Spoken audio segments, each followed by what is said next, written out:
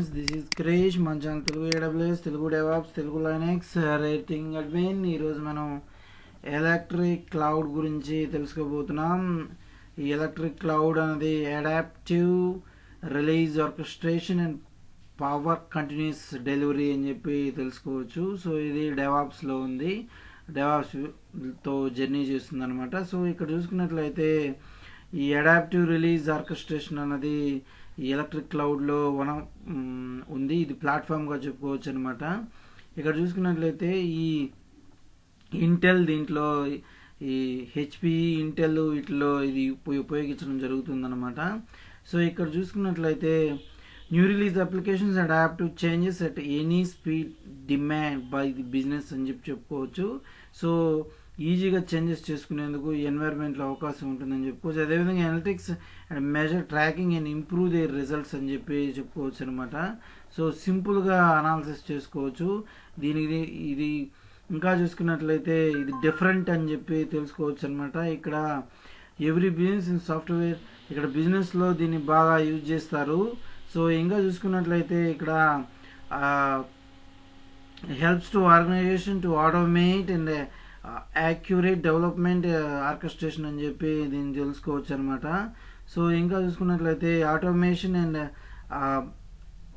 Two thousand టూలో ఆటోమేషన్లోకి ఇది ప్రవేశించింది. ఇది టూ థౌజండ్లో గ్లోబల్ వైడ్ సర్వీసెస్ అన్నది అందించడం మొదలుపెట్టిందని చెప్పుకోవచ్చు. ఇంకా చూసుకున్నట్లయితే ఇది single and capable adaptive release orchestration platform అని చెప్పి సో ఇంతకు ముందే చెప్పుకుని ఉన్నాము.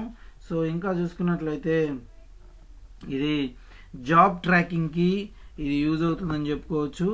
సో ఇక్కడ జాబ్ ట్రాకింగ్కి ఇది యూజ్ అవుతుందని మనం చెప్పుకోవచ్చు అనమాట సో జాబ్ ట్రాకింగ్ అంటే nothing but functionally generated details data from all automated actions అని చెప్పుకోవచ్చు so comments by users history అదేవిధంగా స్టాండర్డ్ అవుట్కమ్స్ అన్నవి సో ఏం వర్క్ జరుగుతుందో ఈ విధంగా జాబ్ ట్రాకింగ్ ద్వారా తెలుసుకోవచ్చు అని చెప్పి తెలుసుకోవచ్చు అనమాట సో ఇంకా చూసుకున్నట్లయితే ఇది ఎన్విరాన్మెంట్ ఇన్వెంటరీ అండ్ కంపారిజన్ అని చెప్పి చెప్పుకోవచ్చు. సో ఇక్కడ ఎన్విరాన్మెంట్ని కంపారిజన్ చేసుకోవచ్చు అనమాట సో ఇక్కడ చూసుకున్నట్లయితే మనం ఈజీ అండ్ ఐడెంటిఫై ఎన్వైర్మెంట్స్ అని చెప్పి డిఫరెన్స్ బిట్వీన్ ఎన్వైర్మెంట్స్ అని చెప్పుకోవచ్చు audit and compliance reports so ఇక్కడ ఆడిట్ అండ్ కాంప్లైన్స్ రిపోర్ట్స్ని మనం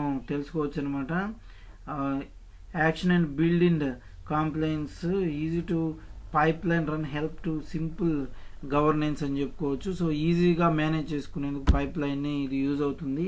అదేవిధంగా ప్లాన్ అండ్ యాక్చువల్ రిపోర్టింగ్కి డిఫరెన్స్ అనేది వర్సెస్ అనేది ఇక్కడ దీనికి కూడా ఒక డాష్ బోర్డ్ ఉందన్నమాట. సో ఇక్కడ చూసుకున్నట్లయితే సో ప్లాన్ చేసిన దానికి యాక్చువల్ రిపోర్టింగ్కి మధ్య రిలేషన్ ఎలా వచ్చింది అనేది ఒక రిపోర్టింగ్ అనేది తెలుసుకోవచ్చు. అదేవిధంగా కస్టమైజేషన్ రిపోర్టింగ్స్ తెలుసుకోవచ్చు అనమాట సో డెవాప్స్లో ఇది బాగా యూజ్ అవుతుందని చెప్పుకోవచ్చు అదేవిధంగా ఆటోమేటిక్ డేటా కలెక్షన్ అనేది జరుగుతుందనమాట సో డిఫరెంట్ టూల్స్తో ఇంటిగ్రేట్ అయి ఉండడం అదేవిధంగా ఇటు మెట్రిక్స్ని ఉపయోగించడం జరుగుతుంది. అదేవిధంగా మైక్రో సర్వీసెస్ డాష్ బోర్డ్ అన్నది ఇక్కడ ఉందన్నమాట. సో ఇక్కడ చూసినట్లయితే చిన్న చిన్న సర్వీసెస్ కూడా డాష్ యూటిలైజేషను అదేవిధంగా అన్నిటికీ డాష్ బోర్డ్ అనేది ఉంది. అదేవిధంగా డిప్లాయ్మెంట్ డాష్ బోర్డ్ అనేది కూడా ఉంది. సో డిప్లాయ్మెంట్కి కావాల్సిన డాష్ బోర్డు దాని హిస్టరీ ఎప్పుడు డిప్లాయ్ జరిగింది అదేవిధంగా ఫ్రీక్వెంట్లీ సక్సెస్ ఫెయిల్ తెలుసుకునేదానికి అదేవిధంగా ఫ్రీక్వెన్సీ తెలుసుకునేదానికి అదేవిధంగా థాట్ పుట్ అదేవిధంగా డ్యూరేషన్ తెలుసుకునేదానికి ఉపయోగపడుతుంది. సో ఇంకా చూసుకున్నట్లయితే మనకి డిప్లాయ్మెంట్ డాష్ బోర్డు సో ఇంకా చూసుకున్నట్లయితే మనకి రిలీజ్ డాష్ బోర్డ్ కూడా ఉంది. సో అప్లికేషన్ రిలీజ్ అయినప్పుడు దాని స్టేటస్ రిస్క్ లైన్ ఉన్నాయి పైప్ లైన్ విషయం గురించి I mean pipeline and release యొక్క రిస్క్స్ గురించి తెలుసుకోవచ్చు. అదేవిధంగా ఫైనల్గా release command centre dashboard ఈ విధంగా ఉంటుందన్నమాట ఓవరాల్.